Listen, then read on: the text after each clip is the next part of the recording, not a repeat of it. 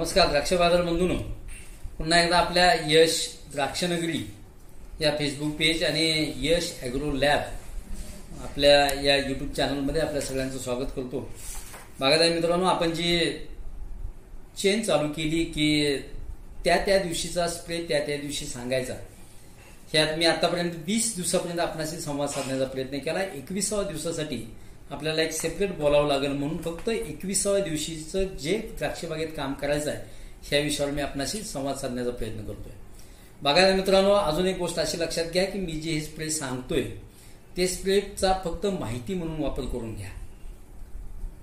ह्या स्प्रेच्या शेड्यूलनुसार आपण चाललात तरी फारशी अडचण नक्की येणार नाही. पण द्राक्षबागेच्या विभागानुसार प्लस मायनस वातावरण असू शकतं. म्हणून मी आपणाला ही थोडीशी एक सूचना करायचा प्रयत्न केला. अजून एक गोष्ट अशी आहे की ह्यात खूप मोठा खर्च येईल अशातला भाग अजिबात नाही आहे. आपण डावणीसाठी जास्तीत जास्त तीन प्लस एक असे चारच मालिक्यूल वापरतोय. आपण सुद्धा बागादा मित्रांनो तुम्ही सुद्धा तीन प्लस एक असे चारच मालिक्यूल वापरायचा प्रयत्न करा. मग ते मी सांगितलेलं मालिक्यूल असेलच असावंच असं नाही आहे जो मालिक्यूलच्या ऐवजी तुम्ही दुसरा मॉलिक्युल वापरला तरी सुद्धा चालेल. पण हे मॉलिक्युल वापरत असताना मात्र धोकादायक बुरशिकानाशकांच्या यादीतला मॉलिक्युल अजिबात वापरू नका. जरी द्राक्ष बागेत अत्यंत क्रिटिकल परिस्थिती निर्माण झाली तरी सुद्धा. मी काय सांगितलं अजून एकदा आहे का जे मालिक्यूल मी चार सांगितले ते चारच मॉलिक्युल वापरावेत अशातला भाग नाही पण हे चार मॉलिक्युल वापरले तरी चालतील. आणि दुसरे मालिक्यूल वापरायचे असतील तुम्हाला तरी सुद्धा ते चारच मालिक्युल वापरू शकता. पण कोणत्याही परिस्थितीत परिस्थितीत इन आणि इन याहू कोणताही मॉलिक्यूल धोकादायक बुरशीनाशिकांच्या यादीत असलेला वापरू नका. जरी द्राक्षबागेत आपल्या अत्यंत क्रिटिकल परिस्थिती निर्माण झाली असेल तरी सुद्धा धोकादायक बुरशीनाशकांच्या यादीतला असलेला मालिक्यूल अजिबात वापरू नका. ही एकविसाव्या दिवशी सांगणं अत्यंत महत्वाची गोष्ट होती. कारण एकवीस ते फ्लावरिंग पर्यंत संपेपर्यंत म्हणजे एकवीस ते चाळीस ते बेचाळीस पर्यंत ही जो पिरियड आहे तो अत्यंत महत्त्वाचा पिरियड आहे. पण ह्या एकविसाव्या दिवशीपर्यंतचा पिरियड जो आपण पोंगा स्टेजपासून एकवीस दिवसापर्यंत जे काम करण्यासाठी घालवलं आहे ते सुद्धा अत्यंत महत्वाचं आहे. पाठीमागं आपले एकवीस दिवसापर्यंत फक्त तीन आंतरप्रवाही औषधे स्प्रे झालेत. आपण दोनच मालिक्यूल यूज केले. आणि तिसरा मॉलिक्यूल आपण बावीस तेवीसला आपण पुन्हा यूज करतोय. ते मी पुढच्या व्हिडिओमध्ये आपण संवाद साधण्याचा प्रयत्न करेन. तर बघायला मित्रांनो एकविसाव्या दिवशी कोणत्याही परिस्थितीत आपल्या प्लॉटला जी हा गेलाच पाहिजे. मग ती कोणत्याही प्रकारची व्हरायटी असू द्या.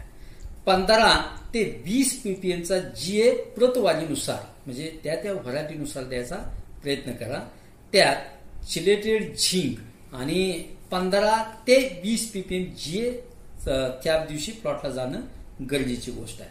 पण एक काळजी अशी घ्या की एकविसाव्या दिवशी घडाचा रंग हा पूर्णपणे हिरवा झालेला असला पाहिजे. त्यासाठी स्फुरण आणि पालाश आणि मॅग्नेशियम झिंक ह्या चार लेवल ह्या अत्यंत महत्त्वाच्या बागेत असल्या पाहिजेत. त्या आपण पाठिंबाच्या पांदेल परीक्षण आणि माती परीक्षणातून जो खताचा डोस तयार करून आपण घेतलाय त्याच्यावर त्या गोष्टी अवलंबून राहतात. जर एखाद्या बागायतदाराला जर अशा गोष्टी चेक करणं जमलं नसेल किंवा जवळ आपल्या लॅब नसेल तर मात्र झिरो झिरो पन्नास हे एकोणीसाव्या दिवशी एक किमान तीन ते पाच किलो किंवा झिरो बावन्न चौतीस तीन ते पाच किलो द्या. त्यात थोडंसं मॅग्नेशियम बी द्या. तेव्हा आपल्याला बागेला थोडीशी काळुकी बी येईल आणि घडाचा रंग बी आपला हिरवा होऊन जाईल. ही अत्यंत महत्वाची गोष्ट. जर जमिनीतून देता नाही आपल्याला तर स्प्रेमधून मात्र विसाव्या दिवशी हे जाणं गरजेचं आहे. कारण त्या दिवशी समजा कालचा जो स्प्रे आपण रेकमांड केलाय त्याऐवजी दुसरा एखादा स्प्रे आपण घेतला किंवा हे मॅग्नेशियम आणि झिरो झिरो पन्नास किंवा झिरो बावन्न चौतीस असं जर स्प्रेला घेतलं तरी चालूच केलं. त्याचं प्रमाण अडीच ते तीन ग्रॅमपर्यंत आपण दिलं तरी चालेल. अशा स्प्रेचं नियोजन आपण व्यवस्थित केलं तर मात्र बरोबर एकविसाव्या दिवशी घड हा आपला हिरवा होतोय. बरोबर पंचवीसाव्या दिवशी पुन्हा आपल्याला एक जी द्यायचा आहे. जर सुपर सोनागा व्हरायटी असेल किंवा जर पर्पल मधल्या जर व्हरायटी असतील तर त्यांना जी थोडासा लांबवला तरी चालेल. पण बाकीच्या ज्या सगळ्या व्हरायटी आहेत त्यांना मात्र पंचवीसाव्या दिवशी पुन्हा एकदा जी आपल्याला द्यायचा आहे तो कसा द्यायचा मी पुढच्या व्हिडिओमध्ये सांगेन. पण ह्या ज्या एकविसाव्या दिवशी जे मी आता सांगितलंय आपल्याला की जीचं स्प्रेचं ते तुम्ही जरी एखाद्या बुरशीनाशकांतून दिला तरी सुद्धा चालेल. एकव्याशे दिवशीचा जो स्प्रे आहे तो स्प्रे असा आहे. शंभर लिटर पाणी. पाण्याचा पीएच कमी करून घ्या फॉस्फरिक ऍसिड टाका आणि त्यात पुन्हा सुपर स्प्रेडर आपला स्पेसर आहे तो टाका. चांगलं ढवळा ते वातळ व- पाणी चांगलं ढवळा. ते पाणी तपासून घेतलेलं असलं पाहिजे लक्षात आलं म्हणून सांगतोय. त्या पाण्याचा इशी पॉईंट पाचच्या आत पाहिजे. पाण्याचा पीएच हा साडेपाच ते सहा पर्यंत करून घ्या. पाण्यात पाण्याचा टोटल हार्डनेस किंवा पाण्याचा एकूणच जे हार्डनेस आणि टोटल डिझॉल्व सॉल्ट टीडीएस ह्या ज्या गोष्टी आहेत त्या अत्यंत महत्त्वाच्या त्या बागेवर इफेक्ट करत असतात. त्यामुळे ते पाणी तपासून सुद्धा आपण पाणी तपासायला घेतलं पाहिजे. जर आपलं पाणी यूज होत नसेल तर शेजाऱ्याचं पाणी तपासून घ्या. ते जर योग्य असेल तर ते पाणी वापरा. पण औषधासाठी जे पाणी फवारणीला घेतोय ते अत्यंत महत्वाची गोष्ट आहे. ह्याच्यावर वेळावेळी मी करतोय.